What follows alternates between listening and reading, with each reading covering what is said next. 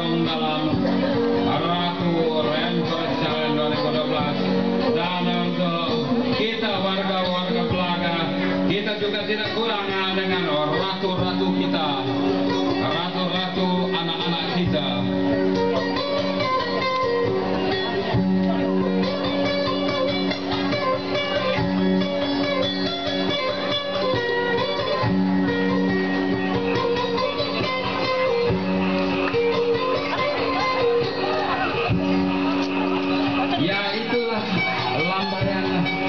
menyambut lombanya ratu-ratu kita untuk kita para penonton pada malam ini.